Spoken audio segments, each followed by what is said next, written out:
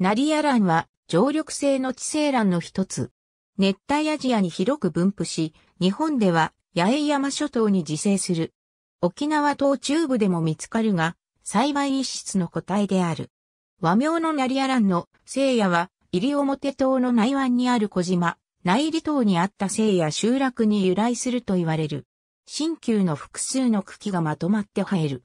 葉は長さ10から20センチメートルで、線状非神経、2列に合成して上に伸び上がり、遠目で見た草子はイネ科の足に似ている。茎の基部には二石球形をつけ、紐状の根が多数ある。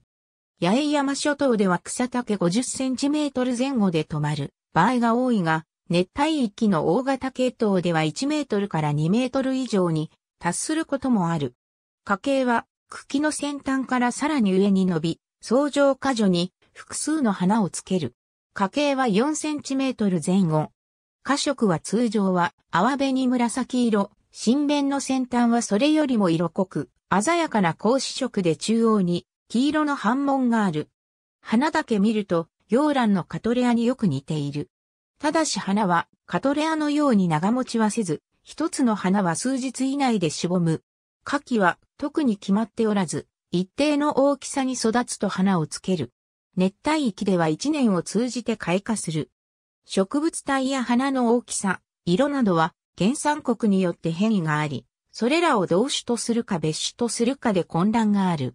学名も多数あるが、どれが有効名で、どれがシノニムか、学者によって意見が異なるようである。明るい草地に生える。道路沿いの斜面、放棄されたパイナップル畑、牧場の跡地など、人為的に作られた拉致が草地化する過程で群落を作ることもある。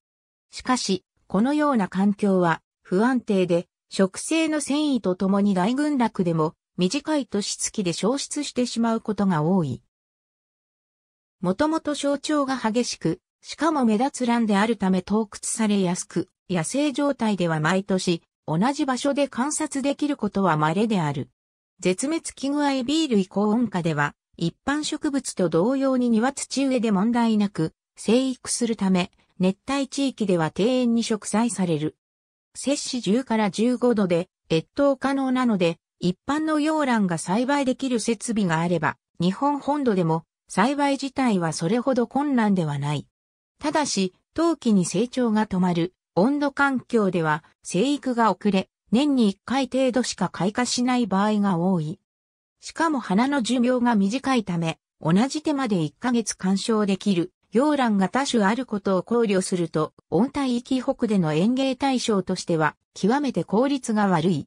大型で栽培場所を取る植物でもあるため、日本本土で本種を栽培しているのは、原種蘭のコレクターなど、ごく一部の愛好家に限られる。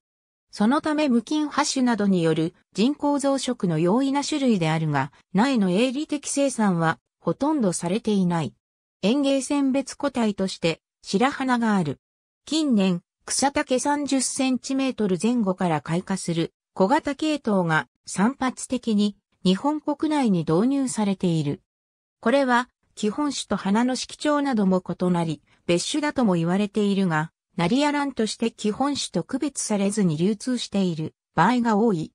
開花していない状態では、育ちが悪い基本種にしか見えないので、専門業者の間でも存在はあまり認知されていないようである。西表糖酸は3倍体で、中東に花粉がつくと、それが刺激となって、受精なしに種子が単ため発生する。花粉親がどのような品種であっても、未生は基本的には種子親と同一の遺伝子構成になる。そのため、種子親として後輩育種に使うことは不可能である。他産地の系統についても同様に単ため発生している可能性がある。ありがとうございます。